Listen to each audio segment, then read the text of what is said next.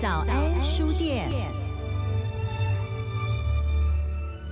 这里是中央广播电台台湾之音，您所收听的节目是《早安台湾》，我是夏志平。此刻时间早晨七点零五分三十秒了。哎，这一期的多维月刊上面的这个重要的封面故事告诉我们：武统破境啊，台海何以战云密布？问号啊，这个现在问号都要经常 说出来，不然人家以为我们在说肯定句。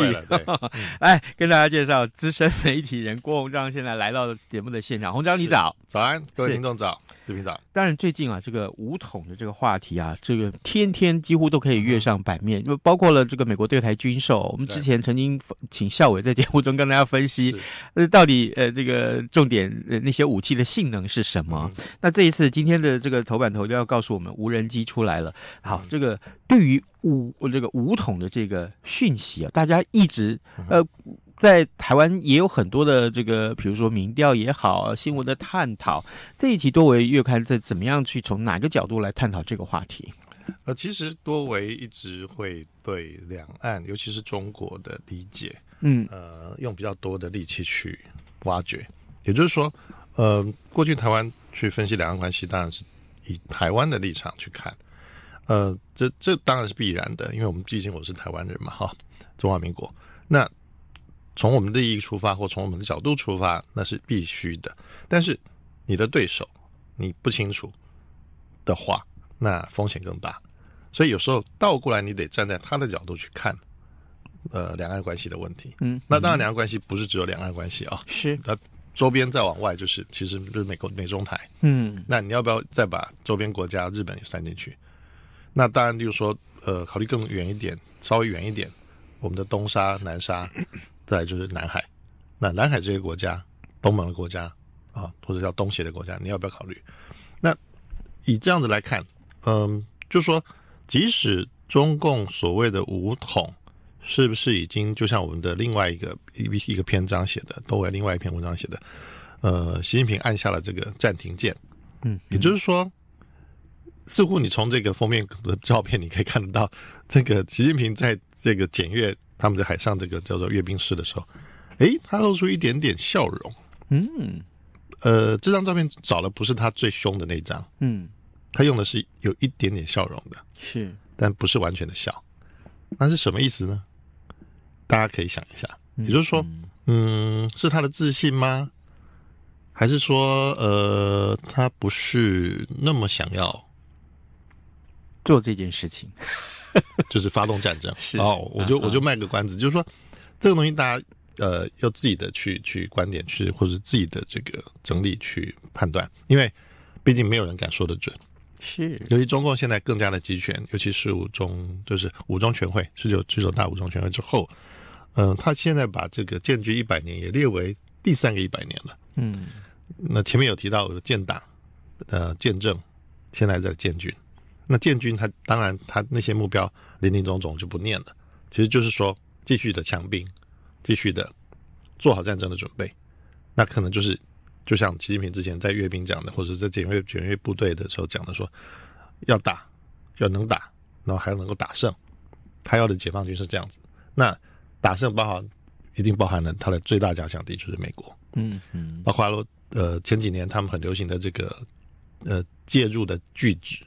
就 A two D two，像这个校委可能之前都讲过，但是特别要去讲的就是说，他会做的就是先阻止美军介入台海，再来再来处理台湾，嗯，而不是先打台湾。哦，了解，这是我们一般听众可能要去想清楚的部分哦。就是说，当然有的听众比较厉害一点的，其实他已经知道这个事情了，嗯，但是我们可能，尤其在台湾的听众可能会有点说，哎呦，反正现在。这个呃，中共的军机一直在绕台湾嘛，或者跑到我们的西南空域，嗯，就这样嘛啊。但是这个这个风险是不能轻忽的。嗯，好的。呃，各位听众，今天早上志平为您连线啊，不是我又讲连线，我很喜欢跟你连线。这个呃，我们邀请到郭鸿章亲自来到节目当中，跟大家来介绍这一期的多维月刊。刚刚我们就做了一个广泛的解释，正好你也提到了美中台。那提到美国，当然现在最重要的一个新闻焦点就是在美国总统大选的结果。是我稍微投票，对我稍微借用一下鸿章一分钟的时间呢，就是呃，目前我们来看呢，呃，各州他们这个不管是截止投票或是开放投票，因为时区很大啊，是很多，那么规定都不一样啊。佛罗里达州啊，Wisconsin 啊，还有就是亚利桑那这些关键州。啊，呃，大选日当晚之前送达的这个邮寄选票才算有效票。那么北卡啦还有宾州啊，这是允许大选日以前寄出，而且三天之内寄达，通通都算。好，这个密西根呢，只是只要具有大选日以前的邮戳，呃，选后十四天。都可以算，这个真的是非常非常匪夷所思。难怪今天各平面媒体上面说最快结果今天晚上可以揭晓，是没有人可以非常肯定的说今天晚上一定全部可以揭晓，这是这没这回事啊。那所以呢，如果选举没有争议的话，呃，你看选举争议这又是另外一个课题。大选的结果，呃，很可能啊，最慢就会延到两到三周。哇，这可能是有史以来我们看到因为疫情的影响，看到就是很具有多。很多的变数的一场美国选举啊，那么呃，当然了，还有就是，如果说这个呃选票发生了这个你要重新验票一些争议的事件的话，恐怕会拖得更久。那呃，让人不禁想起当年老布希和这个呃高尔的的这个这个选那一场选战一样。当然了，这个到底现在谁赢谁输，其实很难讲。嗯，我还记得上一届四年前，Hillary 他。呃，一普选票赢了三百万票，是，可是他一样输掉了这场选举。所以呢，大家也在看说，到底川普会不会在民调落后的情况之下能够翻盘？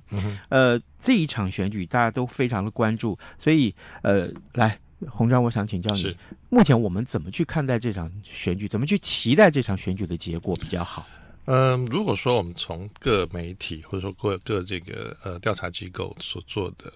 包括有专门在解析民调的啊，就是说，呃，他们的各种各单位去做出来的事情。嗯，我举一个可能川普阵营会不高兴的，就是 CNN 的这个，它有一个互动的这个地图。嗯哼，它不是开票结果，就是它的这个预测。嗯，那它的这个如何达到两百七十张选举人票的这条这个道路上，啊，拜登起跳是两百零三张。哦。川普起跳是一百二十五张而已。哦，因为他这个是根先根据说他原来的各稳定支持嗯。该政党的州。嗯哼，那就是所谓蓝州就是这个民主党这边，红州就是川普这边。嗯，所以他们把这几个州加起来，呃，现在先是二零三跟一二五的比，但是这是底，所以中间剩下两百一十张，他们叫做 battle ground，嗯，就是。呃，必争之地是啊，这那你也可以叫摇摆州，但事实上这已经超过原来摇摆州的定义了。是，也就是说，呃，在今年这一次的选举，这两百一十张的选举人票，它分别落在一二三四五六七八九十十一十二十五个州。嗯，这十五个州分别掌握了两百一十张。那这两百张有大有小啊，例如说亚利桑那州还有十一张，嗯哼，更大的德州有三十八张。嗯，那你说它重不重要？佛罗里达州二十九张，这当然兵家必争，那就不用之讲。是，但是它是不是摇摆州？它的选举投票的意向受到什么影响？那就是综合因素了。嗯，各州的情况又不一样。啊，例如说阳光带就比较南边的，嗯嗯嗯，阳光比较充足的这些阳光州，呃，他们一般来讲，对于例如说呃，假设是农产或者是生活条件上的东西，他们觉得说。没有北部那么州那么恶劣嘛？例如说五大湖州冬天冷的要命，嗯，应该说秋天就冷的要命了。是，所以他可能对于例如说呃 housing 就是住屋，可能例如说交通，甚至连你的燃料供应，都是一个相当重要的。嗯，了解。例如说我涨个石油的价钱，或者是说煤油的价钱，因为煤油是可能是供暖的，那对阳光带的人是没感觉，可是对北部州的人是有有感觉的。那当然，这个是很细到说每个内政的政策。可是，川普跟拜登的，我们叫做他们两个这个决战点，是这些吗？加税减税可能是一个，是。但是，川普讲的减税，事实上，嗯，应该说比较像雨露均沾一点，但也不完全是啊。那他让做了其他事情去补给所谓的没有减到税的人。那另外一个，拜登他所谓的加税，事实上他想加的是富人税，可是他不敢讲出来，嗯，或者是来不及讲出来，是。因为他搅在跟呃川普阵营的其他的 argument 里面，其他的争论里面，所以这个减不减税、加不加税，或者要加谁，来不及讲清楚。那辩论的时候也没讲清楚，那只是一直在就是有点无效防御。那这个对川普的支持者来讲是还是呃不会产生移动的，就是说要加税这件事情，他就认为说反正已经被减税了，已经减了两三年了，那我为什么要去投一个加税的？嗯嗯，就直观来讲，他就他就不会去改变投票意向。了解。所以我们刚刚讲说，诶，也许变数是在例如说各州的那个投票的那个规则，事实上那只是选票的认定。是。那既然说两个阵营没有共识，嗯，也就是说那。基本上各州就看各州的影响力。嗯，如果是共和党可以影响的州，那共和党本身的规则你就可可能本来就改不了的。是，因为那个州有州议会啊，大家不要忘记了，州其实就是个国。嗯哼，它有它的州的法律就是它的法律。嗯哼，除非是联邦所规范的事情，大家共同遵守，例如说跟国防有关的。嗯。哦，或是外交的权利，但事实上对内政来讲，大部分都是州的法律决定，甚至这些投票规则也是。有一个话题是过去我们在探讨美国总统大选的时候从来没有出现过的，这也是昨天我在节目中一开始就跟听众朋友一起分享，就是很多的呃，就是不管是社群也好，或是媒体也好，大家担心的另外一件共同担心的另外一件事情是，这次选举其实并不平静，选后的结果更是大家最关注的话题，这不说了，但更重要的是有可能会产生。选举结果大家没有办法认同而引发的一些暴乱，这个话题是从来我们在探讨美国这个民主社会产生领导人的时候，产生总统的时候，我们从来没有看到过的。连欧洲各国都担心，德国也呼吁说，美国要你自己要这个理性啊。这个这时候变得不理性了吗？你怎么去看待这个可能在选后产生发生的这些个暴动也好，或说是这些呃选民的不平静？但川普很可能。很可能不会镇压，看照这个媒体的解读来说，可能是如此哦。呃，应该是说，其实都有可能。嗯，呃，并不能断定说一定会暴乱。嗯，而是说不能说绝对不会有暴乱，是应该是倒过来讲。嗯也就是说，对某些州或某些选区，就他就可能就真的有争议。比如说，当年的呃，你提到之前那个布希跟呃高尔的那支在佛罗里达州。其实也差一点演变到，就是大家要上街头了。对对，因为两方阵营的这个自治哦，自呼吁自己的支持者自我控制，呃，有效果。其实这个就是你候选人自己的责任。嗯，也就是说，你现在争的不是一般的候选人，不是一个，例如说这呃这个小镇的镇长，或是那个州镇的警长这种小职位的争取，你你争取的是国家大位。嗯哼，那。你这个时候就要展现出你的领导者的风格，尤其是风范。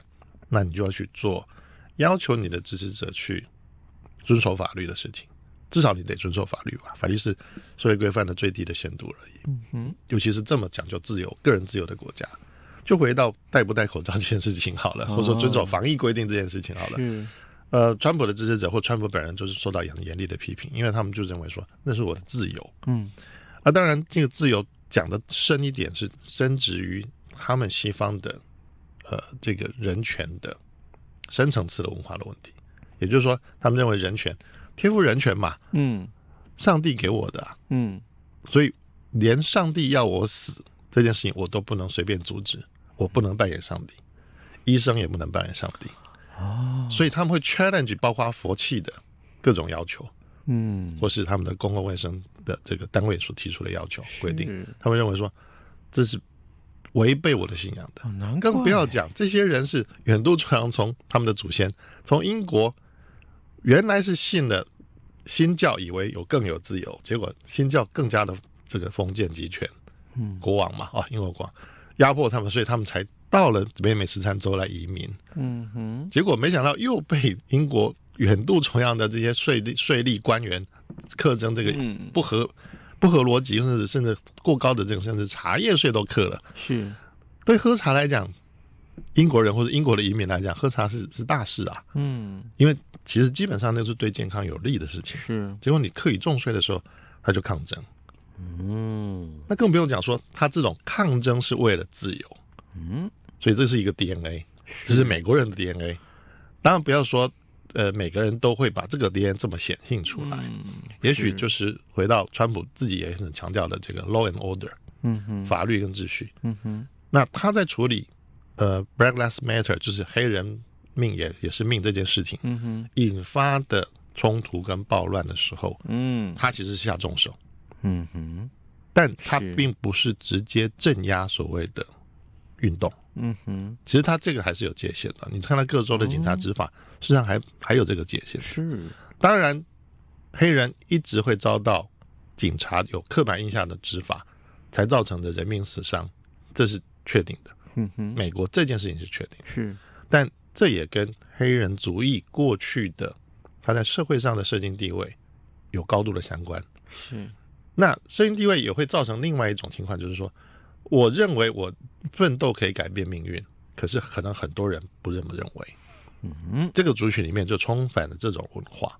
是，呃，就跟我们讲说，美国你可能听很多嘻哈，很多 rap，它最大发源地是南加州的一个叫 Hampton 的地方。嗯哼，Hampton 这个这个小区啦，讲难听就是一个镇。嗯嗯，大部分美国现在很有名的 hip hop 歌手都是从那边出来的。那个镇其实穷的要命，哦，没有别的出路，没有大工厂，没有大企业，甚至你不要想象有什么戏骨那些嗯新创，嗯，不会有，绝对不会有，几十年来都不会有。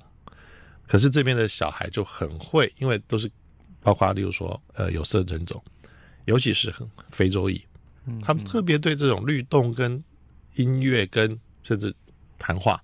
把它融合起来的这个这个很有天分，那刚好也有唱片制作人，可能也是出身这边，或者是从这边过来找来这边找人才，哎，发现有，然后就慢慢培养出来，就变成一个当地的一个特色行业。嗯嗯，但是他们还是会觉得说，我不能只待在 Campton 这个地方，是，所以有一首很有名的歌就冲出康普顿，嗯嗯，甚至拍成电影，就是在讲他们的奋斗历程。那。回到刚刚讲黑黑人的命也是命，那你难道城市只有是也是命吗？奥巴马都当总统了，嗯哼，那你还用说黑人不受重视吗？或者说他有多么不公平？有时候可能也牵涉到跟自身的投入有关。嗯嗯，好的，各位听众，今天早上志平邀请到资深媒体人郭鸿章来到节目当中啊，请鸿章呃为我们来介绍呃这一期的多维月刊的杂志之外，我们当然也锁定最重要的新闻时事，请鸿章为我们来解析。呃，我们看到的就是美国总统大选这个话题，当然这个话题太多太多了，是，可可是。呃，一开始你提到武统这件事情的时候，你也提到了所谓的美中台关系。我们剩下这一点时间，我想来请教你：今天晚上，假定美国总统的下一届的这个呃人选已经出炉了，确定就是谁了。好，对于美中台关系的影响是什么？呃，哪一个人当选，当然影响不同喽。是，你怎么去看待这个事？呃，我这几天也刚好在做这方面的这个，嗯，应该说内容。嗯，所以。跟那几个学者讨论之后，发现说，嗯，大家可能会会去讲说，哎，川普的印太战略，呃呃，如果他下台就没了，嗯，哦，呃，听起来对，但也不完全对，嗯，也就是说，印太战略是什么？印太战略并不是川普自己这个叫做拍脑袋哦，突然冒出来的东西，事实上，他也延续了奥巴马他提出的重返。亚洲，嗯，就是美国重返亚洲，嗯，或者是亚太再平衡，是，他有要去制衡中共的这件事情，嗯，有这个思考在里面，也是延续的。也就是说，这两个任呃两两个总统虽然看起来路数不太一样哦，呃，川普在做印太战略的同时，事实上他例如说跑去跟欧洲讲说，呃，我我我不需要再再派那么多人驻驻扎在在德国了，我要回来了。啊，伊拉克战争我要结束了，阿富汗驻军我也要结束了，然后甚至跟嗯韩国说，呃，南韩说，哎，这个军费我们来好来谈一谈，你要自己要分摊多一点，哦，我我要我要收钱了。也就是说，过去可能德不管德国也好，南韩也好，都认为说，反正美国要当世界警察嘛，要当老大嘛，他负担得起嘛，派派兵来就派兵来嘛，我只要在政治上表态支持你这件事情，支持你的理念就好了，嗯，我就可以予取予求，动不动就说，哎，我觉得俄罗斯最近对我不好，很紧张，嗯哼，然后叫我的情报部门写个报告，然后就发给发给，比如说以前九眼联盟，后来就五眼联盟。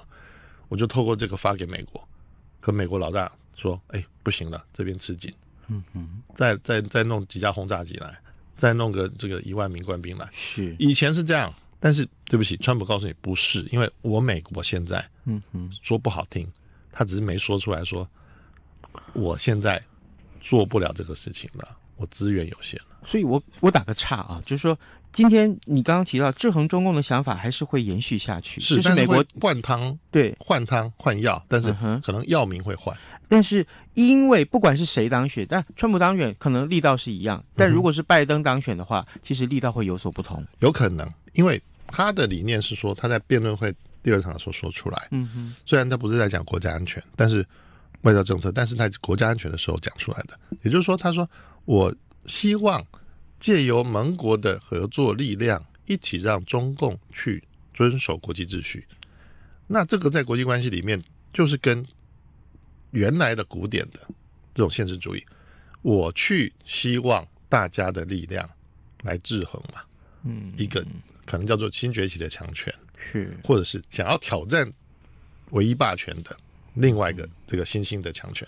那这个东西是当然是有脉络的，的确是他们信仰不同。因为川普是真的还是算是政治素人，嗯他不从这些国际关系的理论去出发去想，但是他想到说，我先救美国，我美国救得了，但是我看到敌人来了，所以我还是会叫人去去挡敌人。嗯嗯，所以美军还是负担了很重要的任务，但是美军在他的概念是我先拉回来，我不要再驻扎在欧洲啊，那个非洲什么什么这个中亚，我不要了，都回来。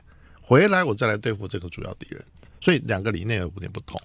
哦，原来如此。好，呃，此刻时间早晨七点二十七分三十秒了啊，我们先请红章休息一下，我们进一段广告。广告过后呢，我们马上回到节目的现场，我们继续来请教红章。侨委会主办的海外华文媒体报道大奖，现在开始报名喽！哦，所以这是专门为海外华文媒体及媒体人办理的奖项啊！嗯，是啊，侨委会为了鼓励海外华文媒体撰写有关台湾人在世界各地的努力与贡献，特别创设了海外华文媒体报道大奖。只要是平面、网络报道或是广播节目作品，从二零一九年一月一号到二零二零年十月三十一日期间发布在中华民国境外的媒体平台，都可以报名参加。这么厉害！哎，去哪里可以报名啊？记得在十一月三十日报名截止前，到侨委会的官网线上报名。最重要的是，这一次的奖金太丰富了，总共有六个奖项的优胜得主，可分别获得美金两千五百元的奖励哦。那还等什么？我们快去准备报名资料啊！你节目还没录完啊？好的，我们来看看啊，这个。其实这一期的多维月刊上面还有很多重要的文章，特别我提一下深圳的下一步，马云的蚂蚁帝国崛起忧喜参半。正好今天财经专业报纸上面头版头条也告诉我们这个震撼全世界的消息：蚂蚁上市惨遭暂缓。